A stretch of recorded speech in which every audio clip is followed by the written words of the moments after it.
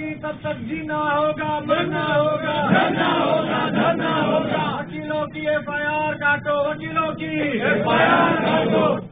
Karachi super highway के करीब मद्रास चौक पर बिजली बंदिश के खिलाफ एहतजाज। वकला पर लाठीचार्ज। एसएचओ को उहदे से हटा दिया गया। वकला का एसएचओ सचल के खिलाफ मुकदमे का मुतालबा।